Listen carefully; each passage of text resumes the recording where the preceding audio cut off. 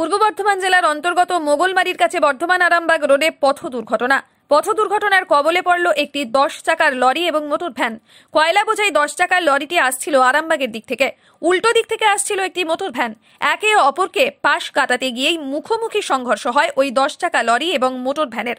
সঙ্গে সঙ্গে উল্টে যায় ভ্যানটি। প্রত্যক্ষদর্শী মনোয়ার আলী জানিয়েছেন, লরি চালকের চোট লেগেছে। তিনি হাসপাতালে ভর্তি রয়েছেন। ঘটনাটি ঘটেছে মঙ্গলবাড়ি পেট্রোল পাম্পের কাছে।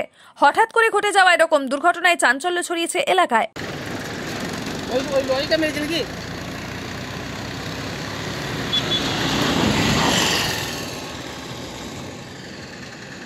হালকা ছবিটা তোল। হ্যাঁ। আবার গুঁজে দিয়ে দিলি।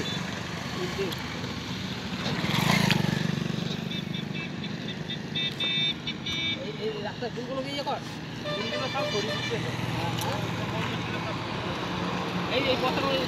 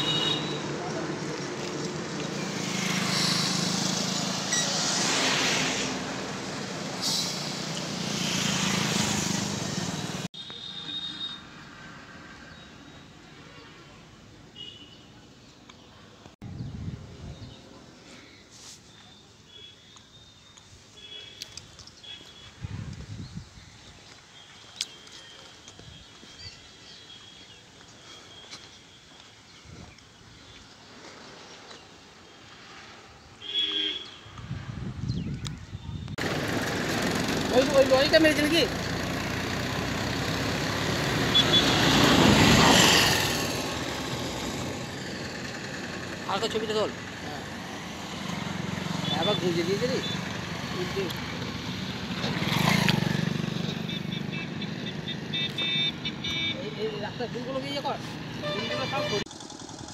আরামবাগ থেকে একটা গাড়ি আসছিল দশ চাকা গাড়ি।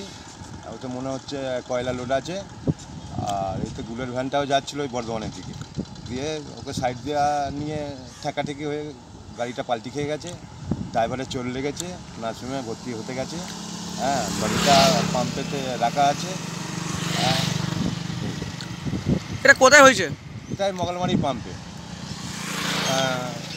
মঙ্গলবাড়ির আরামবাগ থেকে যাচ্ছে তো বর্ধমানের দিকে প্রথম পাম্পটা সামনে। আপনার নাম? আমার নাম হচ্ছে শেখ মনোয়ার আলী। আপনার এগনি বাড়ি? হ্যাঁ আমাদের পাশেই বাড়ি। ধন্যবাদ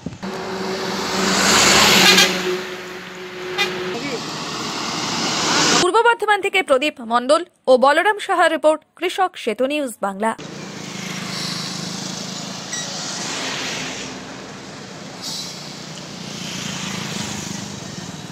আপনারা দেখছেন কৃষক সেতু বাংলা।